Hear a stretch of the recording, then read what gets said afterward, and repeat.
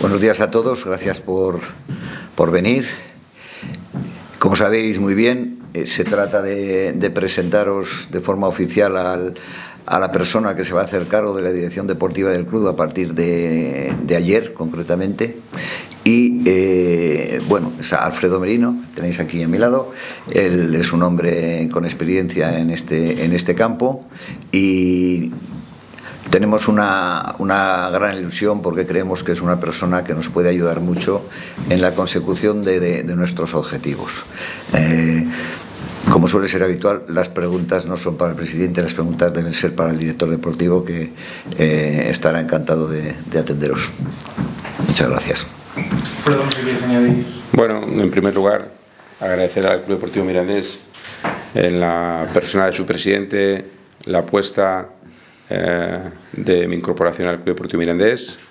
Eh, la verdad es que estoy responsabilizado porque creo que es un club, además de todo lo que lleva a nivel deportivo, es un club muy familiar, es un club donde la ciudad está volcada con el equipo y evidentemente en este tipo de casos lo único que puedo decir es que por mi parte no va a quedar y que a pesar de que el reto es grande, eh, la confianza y la ilusión es máxima.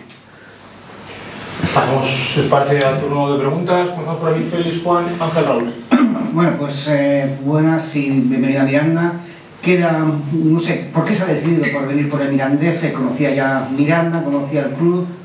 Sí, bueno, eh, a Miranda he venido muchas veces, vine como entrenador del Palencia en su momento y en las diferentes facetas eh, como secretario técnico, como director deportivo, tanto en Madrid como en Vigo y demás, hemos venido muchas veces porque además es un club donde todos son facilidades para los trabajadores. ¿no?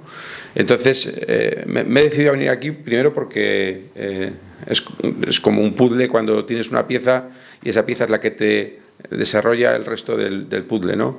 Yo creo que Miranda es eh, una marca, Miranda es un sitio que hace un, favor grande a los chicos jóvenes eh, del fútbol español. No es fácil ser joven y jugar en la Liga de Fútbol Profesional y yo creo que es un sitio donde eh, creo que me puedo desarrollar, creo que puedo aportar muchas cosas y evidentemente el Club Deportivo Mirandés me va a aportar a mí otras muchas. ¿no?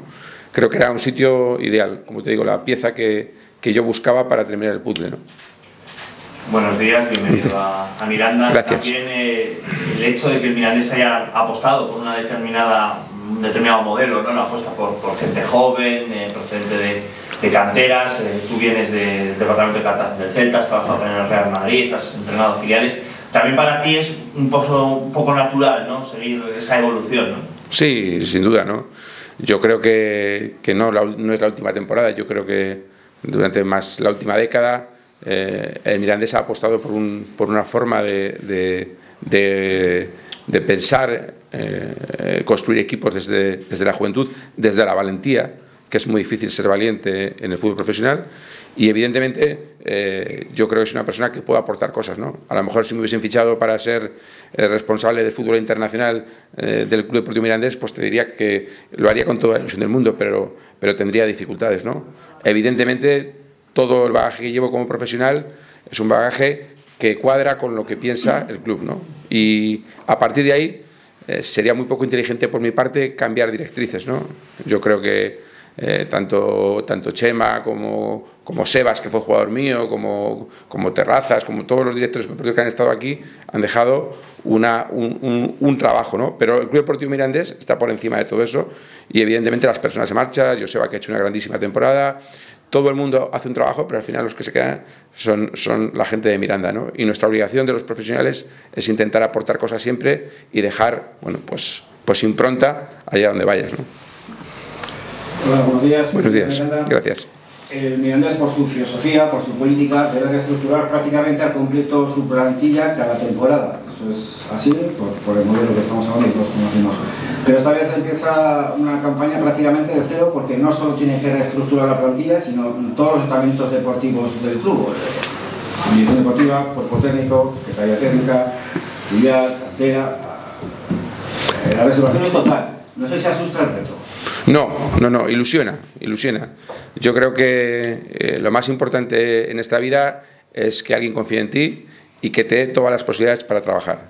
El presidente del Club Deportivo Mirandés desde el primer día me ha dicho Esto es ahora mismo la gente ha decidido marcharse por diferentes situaciones profesionales y ahora mismo prácticamente es un solar, pero un solar que se llama Club Deportivo Mirandés, donde los jugadores quieren venir, donde los clubs quieren ceder jugadores, donde eh, los futbolistas saben que cobran al final de mes y que no tienen ningún problema, donde todo el mundo que se marcha habla bien. Yo siempre digo que los clubs se definen por cómo se marchan los jugadores, por cómo se marcha la gente. Yo he hablado con padres de jugadores del año pasado que yo he querido fichar para el Real Madrid en mi época y se marchaban llorando de Miranda por el trato que habían tenido. Entonces, es un reto. Evidentemente, hay que fichar un cuerpo técnico entero, hay que organizar la secretaría técnica, hay que eh, hablar con toda la gente de fútbol base, que ya se está haciendo y que veréis que poco a poco mm, se va a ir organizando todo y que evidentemente poco a poco van a ir viniendo jugadores.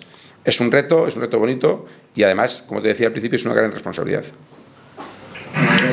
Bienvenido. No sé si habla del cuerpo técnico completo, no sé si ya lo tiene más o menos eh, definido, quizá no nos lo va a adelantar, y si ya tiene también esbozado un poco la idea de plantilla, que Sí, por un lado, por un lado el cuerpo técnico, evidentemente eh, llevamos trabajando tiempo en la misma línea que ha tenido el presidente en los últimos años, eh, gente joven, gente con, ilusión, gente que quiera venir a Miranda a crecer y gente que vea en Miranda un sitio donde poder desarrollar el inicio de su carrera.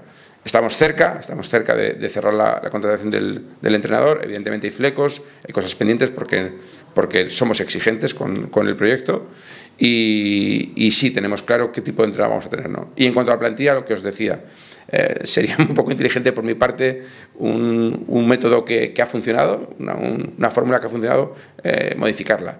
Vamos a ir en la misma línea, eh, vamos en jugadores jóvenes, jugadores con proyección, jugadores con hambre, jugadores en propiedad algunos, otros cedidos, pero siempre, siempre en la línea que hemos tenido durante los últimos años en el Club Deportivo Mirandés. Quizá el problema en las últimas eh, temporadas haya sido la confección de la plantilla, que quizá por este modelo, quizá también por esperar a, que lleguen mejores jugadores, quizá llegan tarde, entre comillas, y claro, pues al entrenador le cuesta eh, unas cuantas jornadas eh, acoplar al equipo. Sí, ¿Este año se va a solventar? Eh, el mercado es el que es, pero también es cierto que hay que hacer una, hay que hacer una reflexión y pensar si esperar al último minuto supone no regalar, pero no estar en condiciones las 10 primeras jornadas. ¿no? Vamos a intentar por todos los medios que las incorporaciones sean lo antes posible, teniendo en cuenta que a lo mejor las definitivas sean en las últimas eh, horas de, campaña. ¿no? Pero sí es cierto que una de las reflexiones que tenemos que hacer, y evidentemente las hemos hecho en, las reuniones constantes con el presidente, es eh, que a lo mejor a veces hay que ver si te compensa eh, en la última semana fichar cuatro o cinco jugadores a cambio de estar 10 o 12 jornadas sin esa mmm, complexión de plantilla y haciendo prácticamente la pretemporada en esas jornadas. Ahora mismo el club, si no me equivoco, tiene cuatro jugadores con contrato. Eh, también habrá un interés por intentar mantener a algún jugador más para tener un armazón con el que empezar a, a construir el equipo. Sí, eh, se ha hablado prácticamente con los agentes de todos los jugadores eh, que se han marchado. Eh, y esto es como todo. Los futbolistas eh, a primeros de julio cree que van a jugar en la Premier, que van a jugar en Primera División, que van a jugar en, en la Liga 1 de Francia. ¿no? Eh, la, eh, la, segunda quincena de julio, bueno, ya vamos a ver si jugamos en un equipo de Primera División o si jugamos en Primera Holanda. Y el 1 de agosto, eh, es que a lo mejor a lo mejor estoy de puta madre en Miranda. Entonces, todos esos tiempos, pues evidentemente la gente de fútbol sabemos que se van a ir quemando. ¿no?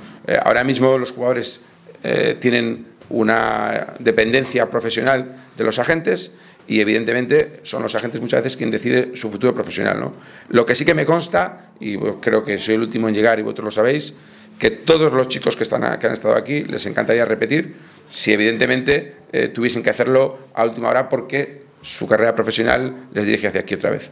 Que, queremos, queremos jugadores buenos, eh, van a ser jugadores con hambre, van a ser jugadores que se amolden a un modelo de juego que evidentemente eh, lo marca el Mirandés y por eso se ficha el entrenador que marque esos, esos objetivos y, y, tenemos claro ahora mismo cómo es la composición de la plantilla y tenemos claro las primeras opciones, las segundas opciones, las terceras opciones de cada uno de los puestos e intentaremos pues conseguir que la plantilla sobre todo tenga calidad, ¿no? Uno de los objetivos grandes que tenemos es que la gente cuando venga a Andúba se divierta.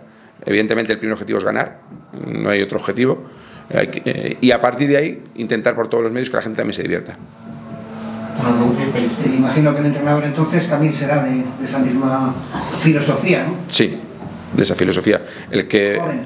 Sí, siempre, siempre joven, con ganas, con ganas de venir a, un sitio donde la valentía es, es, la bandera y a partir de ahí darle todos los medios para que pueda desarrollar eh, su, su, forma de jugar y evidentemente su carrera deportiva. ¿no?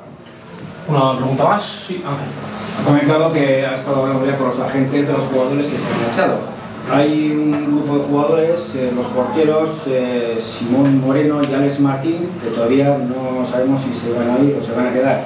¿Se ha hablado con ellos? ¿Hay intención de que se queden? Sí, se ha hablado con ellos y evidentemente lo que estamos haciendo es valorar diferentes opciones y ver si entran dentro de la plantilla. Eh, todos, como te decía, todos los jugadores ahora mismo tienen un planteamiento de salir. La primera objetivo que tiene es salir. Entonces, a partir de salir, vamos a ver pero bueno, como, como todos los futbolistas que han estado aquí, eh, hemos, hemos sido agradecidos con ellos y evidentemente cuando hay un nuevo director deportivo, lo mínimo que puedo hacer es hablar con los agentes y eh, informarles de mi incorporación. ¿no? ¿Al director deportivo le interesan todos los jugadores que todavía están? No, no, evidentemente, evidentemente no me interesan todos. Eh, lo que sí que he hecho ha sido hablar con todos porque estamos a fecha, a, fecha 7 de, de junio y la temporada termina el 30 de junio. Entonces, mi obligación es eh, comentarles que he llegado al club, que evidentemente cualquier cosa que puedan necesitar del club estoy a su disposición y a partir de ahí tenemos tiempo suficiente como para pensar en el futuro deportivo de la siguiente temporada. Pregunta obligada, ¿qué jugadores interesan de estos? Bueno, eh, vamos, a, vamos, a intentar, vamos a intentar que, que, que, todos los futbolistas que nos interesan eh, puedan quedarse en el, en el Mirandés. Eso es lo que vamos a intentar. No sé si confía en este sentido, ha, percibido que alguno de ellos sí que podría estar interesado en eso. Sí, pero insisto, al final los, los jugadores profesionales ahora mismo no, no, tienen tanta dependencia de su decisión como de las, de las posibilidades que le, que le ofrece el representante. Entonces, nosotros sabemos los tiempos, sabemos lo que queremos y evidentemente vamos a esperar, pero teniendo muy claro que el Mirandés es un sitio donde la gente quiere venir. Y no va a haber ningún jugador en el Mirandés que no venga, que venga por obligación. El que quiera venir va a ser porque quiere venir y porque está ilusionado en venir. No vamos a esperar que se le caiga un equipo, otro, otro, otro, otro y luego venga el Mirandés. No. Mm, tiene que ser gente con ilusión.